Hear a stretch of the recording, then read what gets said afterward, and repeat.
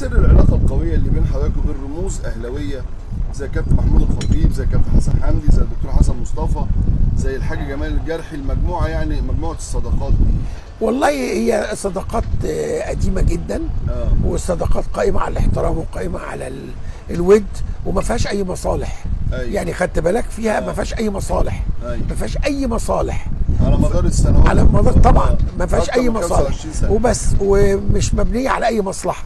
فأي حاجة مش مبنية على مصلحة على مصلحة ومبنية على علاقات نقية مع ناس شيك قوي وناس محترمة جدا وناس قيم.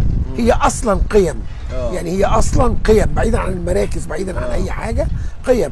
وأنت لما بتقعد مع الناس دي وبتتكلم مع الناس دي بتحس قد إيه الناس دي محترمة؟ أنت الواحد آه، أنا بستفيد وأنا بتعلم. أنا الدكتور حسن مصطفى والكابتن حسن حمدي دول يعني حاجات آه، رموز كبيرة جدا جدا جدا جدا. آه. أنا اتعلمت منهم حاجات جامدة قوي وبعدين بسم الله ما شاء الله الكابتن محمود الخطيب يعني راجل آه، أسطورة فعلا في أخلاقه أيوه. وفي حب وبعدين آه، ال- ال- آه، كابتن محمود الخطيب عنده حاجة يعني مهمة جدا لازم أقولها. إن ربنا سبحانه وتعالى محبب في الناس. أيوه. محبب في الناس. أيوه دي. وبعدين غير كده بقى هو يستاهل ده. لأن هو راجل مهذب جدا قليل الكلام جدا آه بيهتم ب عنده ضمير بيخاف على الأهلي أكتر ما بيخاف على بيته بيخاف على نفسه آه بيسعى لمصلحة النادي بمنتهى القوة ومنتهى الأمانة.